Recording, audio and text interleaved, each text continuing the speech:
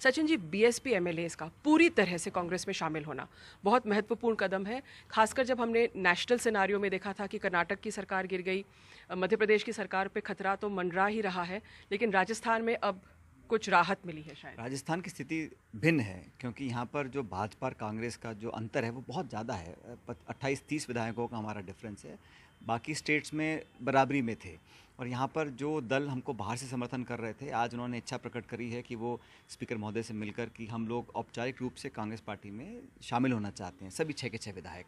तो ये एक, एक अच्छा कदम है संगठन के साथ साथ सरकार को और मजबूती मिलेगी और ये बहुत कम होता है राजनीति में जब लोग विधायकगण बिना किसी शर्त के बिना किसी मांग के बिना किसी कंडीशन के स्वतः ही निस्वार्थ भावना से सरकार को ताकत देने के लिए उसमें शामिल होना चाहते हैं। इसका अंतिम निर्णय स्पीकर महोदय करेंगे सब नियम कानून को देखने के बाद लेकिन ये सरकार को और प्रदेश को एक ताकत देने का काम होगा।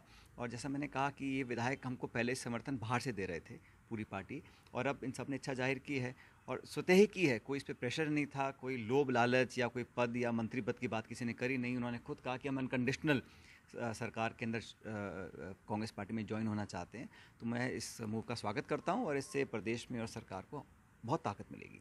लेकिन लार्जर पिक्चर क्या है? अगर हम लार्जर पॉलिटिकल पिक्चर देखें तो बीएसपी के साथ एक टाइम पे कांग्रेस काफ़ी कीन थी कि एक कुछ समझौता हो नेशनल लेवल में। जब प्रदेश में चुनाव हुए थे तो हमने एनसीपी, शरद पवार, शरद यादव साहब की पार्टी काफ़ी दलों से कुछ समझौते किए थे। अलग अलग चुनावों में अलग अलग स्थिति उत्पन्न होती है, उसके आधार पर पार्टी निर्णय करती है कि क्या करना है, क्या नहीं करना। अब चुनाव समाप्त हो चुके हैं विधानसभा के, लोकसभा के। अब सरकार बनी है, जनादेश हमको मिला है, आशीर्वाद मिला है।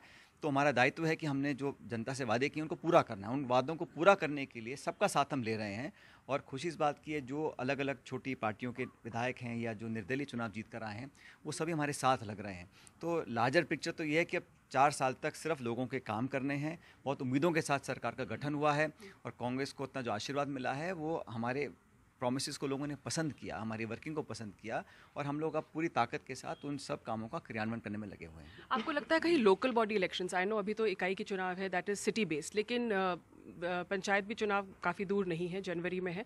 कहीं लोकल बॉडी इलेक्शंस में कुछ फ़ायदा मिलेगा कांग्रेस को? चुनावों की कोई कमी नहीं हमारे यहाँ। अभी नगर निगम के चुनाव हैं फिर पंचायत के चुनाव हैं विधानसभा के बाई इलेक्शन हैं तो चुनाव तो हमेशा आते जाते रहते हैं लेकिन ये बात सच है कि जब काम को लोग पसंद करेंगे और जनभावना दिखती है कि सब सरकार को सपोर्ट कर रहे हैं तो उससे पॉलिटिकल फ़ायदा तो स्वाभाविक मिलता है। लेकिन हम कभी भी किसी चुनौती को कम नहीं आंकते हैं।